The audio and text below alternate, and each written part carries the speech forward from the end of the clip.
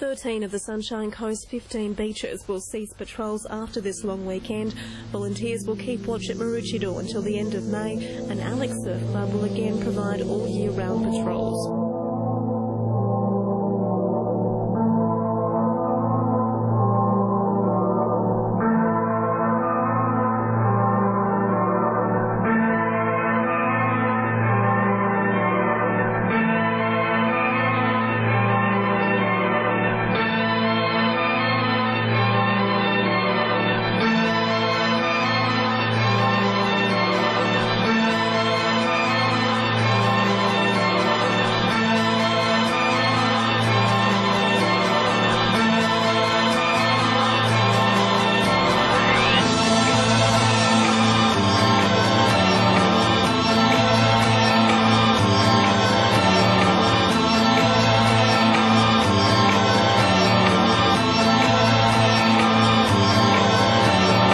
here, right now, right here, right